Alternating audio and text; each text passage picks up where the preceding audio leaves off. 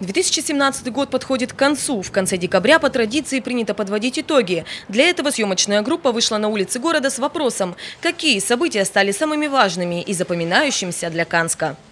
Обалденный мост построили через реку Иванка. То есть там кардинально поменялось сразу все. И движение, э, что еще?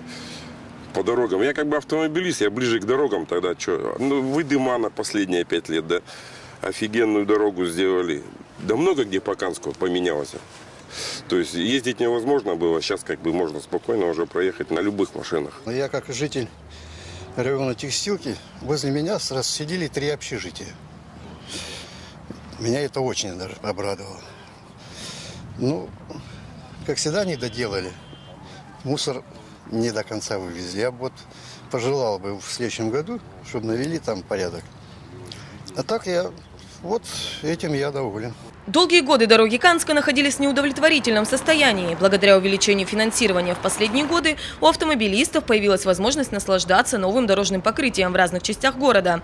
На этих кадрах вы видите, как укладывают асфальт около гостиницы «Юг». Здесь заменили 3000 квадратных метров полотна. Помимо улицы 40 лет октября в порядок привели и дорожное покрытие на Московском тракте. Ямочный ремонт произведен на перекрестке улиц Шабалина, Окружной и Гаражной. Напомним, с 2013 года Канск принимал участие в программе переселения из ветхого и аварийного жилья. За пять лет было построено 8 многоквартирных домов, расселено 649 аварийных дома. Новое жилье получили 1639 человек. А с 2015 года в городе стали обустраивать новые детские площадки. Появились они в рамках пилотного проекта «Придворовые территории». Общие же субсидии 2017 года составили 258,5 миллионов рублей. Все эти средства пошли на реализацию многих значимых для города программ, среди которых субсидии бюджетом на поддержку государственных программ субъектов и муниципальных программ формирования современной городской среды и субсидии бюджетом на поддержку обустройства мест массового отдыха населения и городских парков.